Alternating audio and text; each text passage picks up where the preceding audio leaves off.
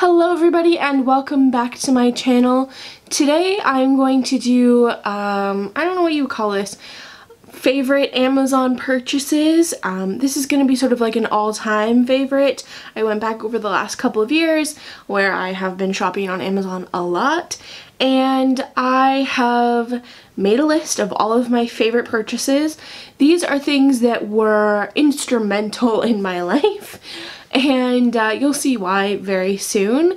Um, I will link them all down below if you want to check them out for yourself. Um, I'm only going to link to the Canadian uh, website, but um, if you're struggling to find them on the American website, what you can do is just copy the title of the product and paste it into the US Amazon.com and it should come up with the same thing if not very similar maybe with a different brand name on it. Usually it's the same seller. So just as a tip. Um all right let's get into the list. I've got my phone here and uh, i should say that this was requested by one of you guys to know what all my favorite amazon purchases were. So this is for you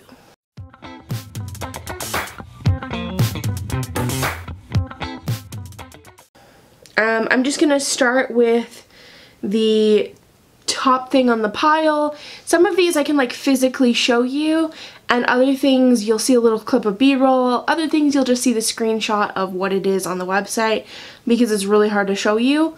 Um, so let's start with um, this little thingy right here. This was supposed to be for me. Um, it is like a scalp scrubber. I'm not going to scrub my head.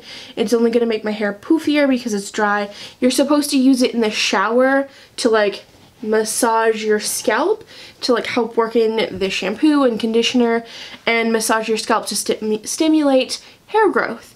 Um, not that I need any of that, but I just like how it feels. And I wasn't going to use it in the shower. It was sort of like um, one of those like ASMR type things where I just really like the feel of it on my head um, and I like the sound it makes you know anyway. So in fact this was supposed to be for me. But my dog likes it more than I do and yes I did brush her with it and then brush my head.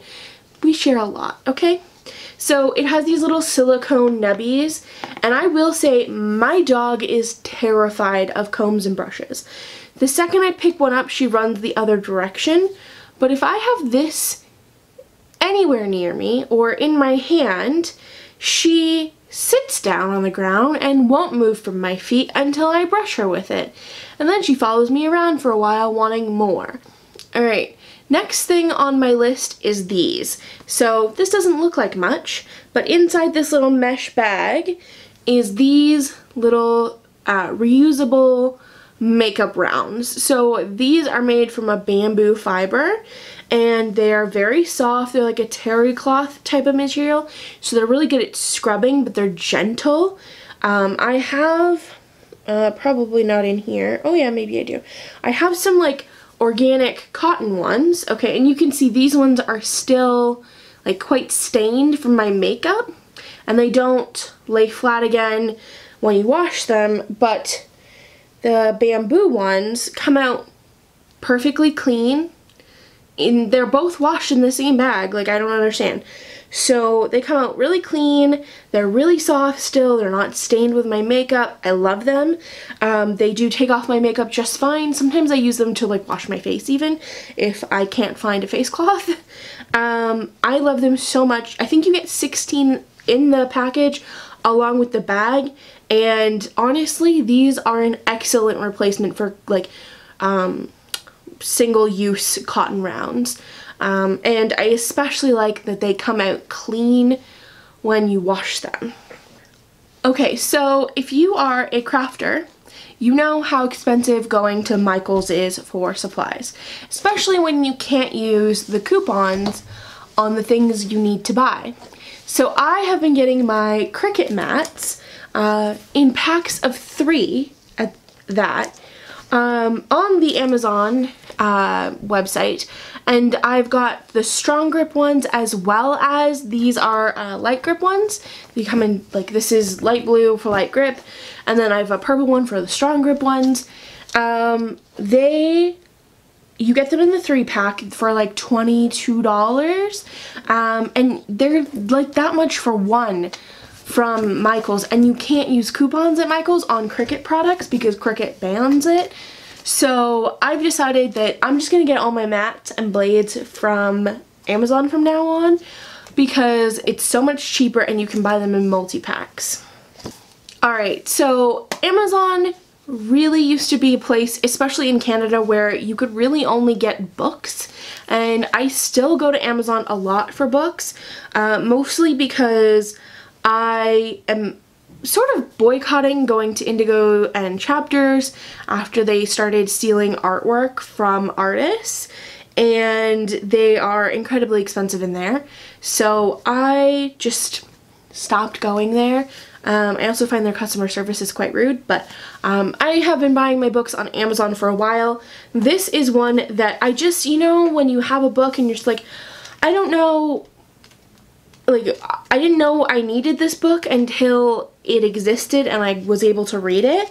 So um, this is Plus or Plus Plus, I don't know how you should read it, by, um, well it's, who's it by? Oh, it's uh, edited by Bethany Rutter and the forward is by Nicolette, Nicolette Mason. Um, she was one of the co-owners of Premme also a blogger, and this is Gabby Fresh on the front. So, like, basically, it is a book of plus size style and, like, inspiration. Um, essentially, they're like, I don't know how you would explain it. It's like cool photos, like Instagram photos, and then a little bio on each person and their Instagram handle or their name. Um, I followed, ended up following so many people out of this book that I still follow now. Um, I'm happy that I was able to get it because it wasn't really available anywhere, um, but then it came out in like soft cover um, and it was available on Amazon, so I'm pretty pumped about that. Alright, so there's a few things that I can't physically show you, but don't worry, I got some b-roll for you. So number one is my fairy lights. I got these wired lights that wrap around my gallery wall behind my bed and I am in love with them. I don't really do like fussy decorative things and um, I really just am not like a decorator. I, I, I like things for function more than beauty in terms of like how my space looks. And when I put these up on my wall, I fell in love it is sort of like acts as a nightlight so I turn them on before I get into bed so I don't trip over anything. Um, they can go much brighter than they actually are so they act as extra light and um, they just at night when I turn them on it adds a little bit of soft lighting so I can keep reading um, and I just I really like them. I love how they look. Uh, I couldn't like I can't really describe. I wanted ones that like plugged into the wall and weren't battery operated, um, which a lot of fairy lights are, especially the ones that are on the thin wire um, that sort of like bend and, and twist around stuff. Um, but I have these ones, they have different settings. There's an app so you can control it from your phone via Bluetooth. I don't know, I just, I love them and I don't know what I would do without them because they just add so much joy to my life. Who knew fairy lights could do that, you know? Alright, next up is my bed frame. And you guys know the struggle that I went through when my Ikea bed broke. Um, it was pretty traumatic. I mean, it, it's not the first bed I've broken. Um, they've all been wood ones. This is a completely metal frame that I got. So it is, what's it called? It's like this Zen Zenith 14 inch Elite Smart Base Mattress Foundation. So it replaces the need for a box spring. It's high enough that you can store stuff underneath. Also high enough that um, you don't feel like you're sitting on the floor. As a fat person, I don't want to feel like a baby deer getting off the floor because there's a lot of me to haul up and I'm not all that graceful. So uh, this thing is rated, well I can't see it right now because I'm just looking at a screenshot, but um, this thing is rated to hold like over a thousand pounds or something like that of distributed weight. And it makes me feel very safe and secure. You barely had to do anything to put it together. It came in a huge box. It wasn't that heavy, it was just huge. And it was folded in half and then you just had to like fold the legs out, um, fold the bed out, and then screw in some like wing nut things. It was super easy. It took less than 20 minutes to put it together and set it down and then put my mattress on it and it's great.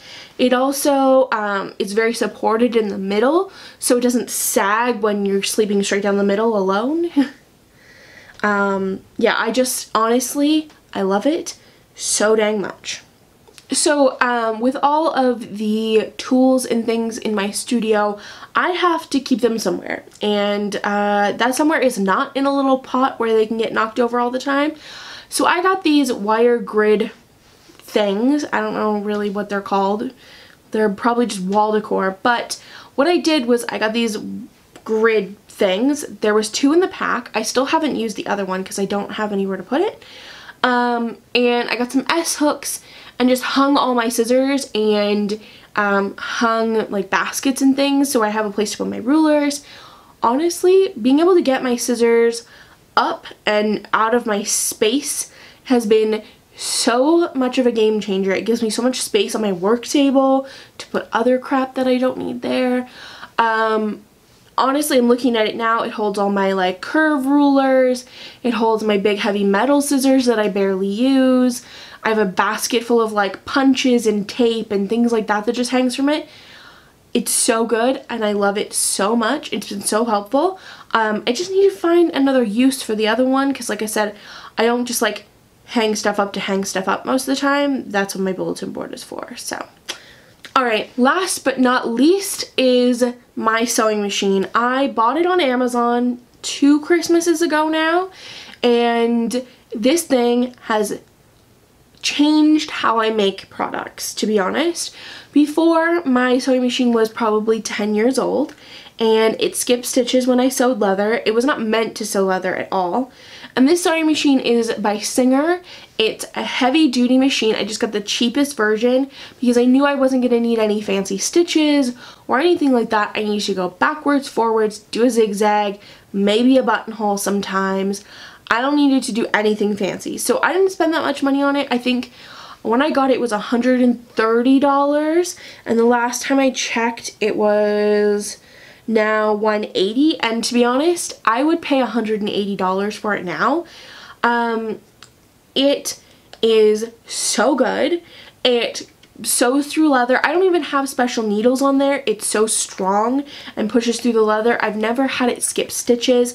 I've never really had like put too much in there where it couldn't sew through it and it has changed how I make things. I used to have to put paper in the machine so that it could go through. Um, I don't have to do that. I did get an even feed foot as well, which has been revolutionary for sewing leather for me. Um, which just means it grabs the top and the bottom pieces at the same rate so it doesn't stretch it out and it feeds through so you don't end up with like a wonky chunk at the end.